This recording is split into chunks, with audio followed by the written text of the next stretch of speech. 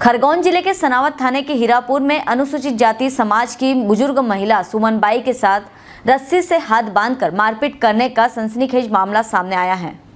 पड़ोस में रहने वाली दो महिलाओं और एक पुरुष पर मामूली विवाद के बाद जाति सूचक गाली गलोच और मारपीट का पीड़ित महिला ने गंभीर आरोप लगाए हैं। पीड़ित महिला अपने बेटे के साथ आज देर शाम खरगोन एसपी ऑफ़िस पहुँची। इस दौरान एएसपी मनीष खत्री के निर्देश के बाद पुलिस द्वारा महिला की रिपोर्ट पर दो महिलाओं और एक पुरुष के खिलाफ एस सी एक्ट के तहत प्रकरण दर्ज कर लिया है। एएसपी खत्री के निर्देश के बाद सनावट टीआई की अगुवाई में पुलिस टीम पूरे घटनाक्रम की जाँच विवेचना मौके पर करने पहुँच गई है। हीरापुर गाँव में कल शुक्रवार दोपहर में बंधक बनाकर हुई मारपीट घटना को लेकर पीड़ित बुज़ुर्ग महिला व बेटे, उसके और परिजनों ने यादव समाज के दबंगों पर मकान खाली कराने के लिए मारपीट और लगातार विवाद करने के गंभीर आरोप लगाए हैं। खरगोन से ब्यूरो की रिपोर्ट। सर मैं तो थाने में तो इंदौर में था। इंदौर में मेरे पास फ़ोन गया। फ़ोन जाने के बाद मेरे को खबर लगी कि मम्मी के हाथ पाँव बाँध दिए और मारपीट करी। तो मैंने सौ नंबर को भी लगाया फ़ोन और एक सौ इक्यासी पर भी फ़ोन लगाया। उनको बोला, मेरे को पुलिस की ज़रूरत है गाँव हीरापुर में। तो फिर उन्होंने पुलिस भी पहुँचे। पुलिस वालों ने हाथ वाथ खोले और ये इनको थाने पे लिया है थाने पे लाने के बाद इन्होंने रिपोर्ट भी दर्ज करी। उससे हम संतोष नहीं। तो क्या विवाद क्या था? सर वो हम नीची जाति के हैं तो वो बोल रहे हैं कि हम तुमको रहने नहीं देंगे। यहाँ से दूसरी जगह मकान बांधो या कहीं पे भी जाओ। लोग वो? यादव लोग हैं और यादव परिवार से है। अभी क्या चाहते हो?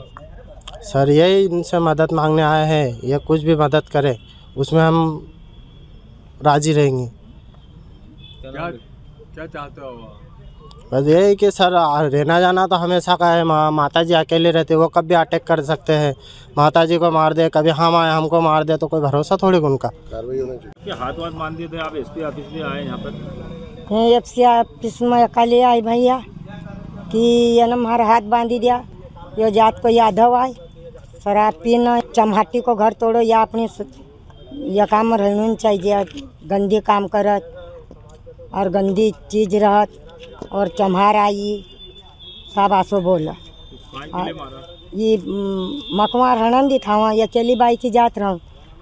या इस कारण वो को मारा मक मारा घर तोड़त फोड़त मार घर में हम घुसी जा। और वो की माई और वो की बहन ये वो की बैरू मालती और संतोष ये मका घर में से घिसिन लाई न अन भायर मारी नो का दुई हाथ पकड़ राख्या पाछा।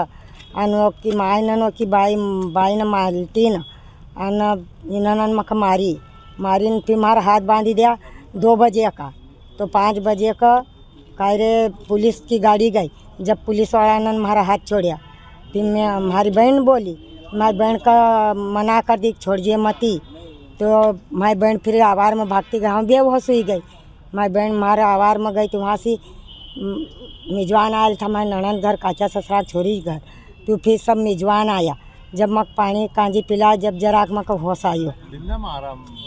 यादव न? या गणेश की माई न बांध्या गणेश न पकड़ राख्या पाछा सर। आन मालती ने बांधिया आन संतोष ने हाथ बांधिया दी सासू उन्होंने आन वर का छोरा न मारा हाथ पकड़ राख्या तो आपको रहने देना चाहते हैं? हाँ रणन नहीं देता। तो हाँ ज़मीन पे कब्जा करना हाँ हाँ? आन आज अकेली बाई की जात ना ऐसा कोई कि तुका रात बेर आता मानना खागा। सर हम अकेली बाई रहूँ था इस कारण आई। हमारी रिपोर्ट ढंग से लिखी नहीं सनावत थाना पर अभी क्या चाहते हो आप?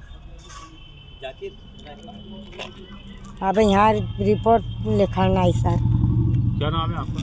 हमारा नाम सुन आपकी माता जी के साथ हाथ बांधे थे मारपीट करी गाँव के लोगों ने। सर मैं तो थाने में तो इंदौर में था। इंदौर में मेरे पास फ़ोन गया। फ़ोन जाने के बाद मेरे को खबर लगी कि मम्मी के हाथ पाँव बाँध दिए। और मारपीट करी तो मैंने सौ नंबर को भी लगाया फ़ोन, और एक सौ इक्यासी पे भी फ़ोन लगाया, उनको बोला, मेरे को पुलिस की ज़रूरत है गाँव हीरापुर में। तो फिर उन्होंने पुलिस भी पहुँचे, पुलिस वालों ने हाथ वाथ खोले, और ये इनको थाने पे लिया है थाने पे लाने के बाद इन्होंने रिपोर्ट भी दर्ज करी, उससे हम संतोष नहीं। तो क्या विवाद क्या था? सर वो हम नीची जाति के हैं तो वो बोल रहे हैं कि हम तुमको रहने नहीं देंगे यहाँ से दूसरी जगह मकान बांधो या कहीं पे भी जाओ लोग वो? यादव लोग हैं और यादव परिवार से है तो अभी क्या चाहते हो सर यही इनसे मदद मांगने आए हैं ये कुछ भी मदद करे उसमें हम राज़ी रहेंगे क्या क्या है? चाहते हो आप? बस यही कि सर रहना जाना तो हमेशा का है। माँ माता जी अकेले रहते वो कब भी अटैक कर सकते हैं। माता जी को मार दे कभी हम आए हमको मार दे तो कोई भरोसा थोड़ी उनका? कार्रवाई होना चाहिए। कार्रवाई तो होना चाहिए। क्या नाम है आप अजय। आए माता जी को लेके? क्या हुआ? सर इनके साथ कल दो एक बजे से दो बजे के बीच में एक घटना हुई। गाँव के कुछ लोगों ने इनके घर में घर के सामने जो रहते हैं इन्होंने इनके हाथ बाँध दिए थे और इनके साथ मारपीट कर रहे थे मतलब इन्होंने बताया। कहाँ विवाद का क्या सर विवाद उन्होंने हमें ऐसा बताया है कि विवाद उनका मकान मतलब ये खरीदना चाहते हैं और इनको गाँव से मतलब इनका अकेली का घर है इनके घर के सामने। तो इनको गाली गलौज करते रहते हैं और मकान बेचने के लिए फोर्स करते हैं। तो दबंग लोग हाँ? सर वो जाति से दबंग है सर आहिर समाज के लोग हैं। यादव है तो उस हिसाब से उनका मतलब व्यवहार भी सर वैसा ही है इनके प्रति। क्या घटनाक्रम हो गया था? तुम गए क्या देखा? सर हमने इनके हाथ बंधे हुए देखे थे और इनके साथ वो उनका जो लड़का है गणेश नाम का वो बार बार दौड़ दौड़ के आ रहा था लोग उसको समझा रहे थे और अंदर दरवाजे के अंदर बंद कर दिया था उसको।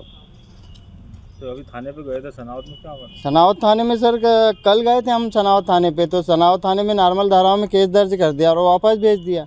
जबकि घटना सर गंभीर है। हम फिर उसके बाद सर अभी आजाक पे गए थे तो आजाक पे वहाँ पर कोई टीआई साहब नहीं है। इस वजह से एच डी साहब भी हमको वहाँ से बताया कि कहीं गए हैं पेशी पे। तो फिर उन्होंने टीआई को फ़ोन लगाया। टीआई ने हम लोगों को बुलाया है और संतोषजनक कार्रवाई करने के लिए मतलब बोला है। आज ऑफ़िस में अभी जी सर अभी एसपी ऑफ़िस आए हैं अब यहाँ से हम टीआई साहब के पास सनावत थाने पे जाएँगे। तो क्या चाहते हैं हम कार्रवाई चाहते हैं सर इनके खिलाफ। कौन किन के किन के खिलाफ? तो ये गणेश और इसकी फैमिली के खिलाफ जिन जिन लोगों ने इनके साथ मारपीट की है। आपका क्या नाम? मेरा नाम राजू कनाड़े है सर। मैं इंदौर में पढ़ाई कर रहा हूँ सर। बंधक बना के मारपीट की एक खबर आ रही है। सर, क्या मामला है, सर ये? ग्राम हीरापुर है, थाना सनावद अंतर्गत। उसमें एक जो पड़ोसियों के विवाद की सूचना प्राप्त हुई है, जिसमें एक महिला जो बुज़ुर्ग हैं, इनकी रिपोर्ट पर थाना अजाक्स पे अपराध पंजीबद्ध किया जा रहा है एस सी एक्ट अंतर्गत। और इस घटनाक्रम के उपरांत उनके द्वारा कुछ जो फ़ोटो और वीडियो दिए गए हैं जिनमें जिसमें एक वो बंधी हुई जो दिख रही हैं तो उस संबंध में विवेचना के दौरान पुष्टि की जाएगी और जो संबंधित आरोपी हैं उनके विरुद्ध वैधानिक कार्रवाई की जाएगी। सर महिला का आरोप है और उसके बेटे का कि दबंगों ने जो है मकान खाली कराने के लिए बार बार उनसे जो है दबाव देते हैं वहाँ पर और मारपीट की जाती है हमेशा अक्सर उनको भय बना रहता है। ये उस संबंध में जो विवेचना थाना प्रभारी स्वयं करेंगे और वो स्वयं स्पॉट गए हैं उसके उनके द्वारा जो आरोप लगाए गए हैं उनकी विवेचना के दौरान बारीकी से जाँच की जाएगी तद अनुसार वैधानिक कार्रवाई की जाएगी। किसी के सर खिलाफ मुकदमा दर्ज हुआ हाँ ये जो उनके द्वारा एक पुरुष और दो महिलाएँ जो पड़ोसी हैं अभी प्रथम जो अपनी उनकी रिपोर्ट में उन्होंने बताया है इसमें अपराध पंजीबद्ध हो रहा है और इसमें S C S T act अंतर्गत अपराध पंजीबद्ध हो रहा है और उसमें विधिवत कार्रवाई की जाएगी। ठीक हेलो फ्रेंड्स आप देख रहे हैं हमारा channel S W twenty four news हमारे सारे वीडियो सबसे पहले देखने के लिए आप हमारे चैनल को सब्सक्राइब करें और पास में लगे बेल आइकोन को दबाना बिल्कुल भी ना भूलें।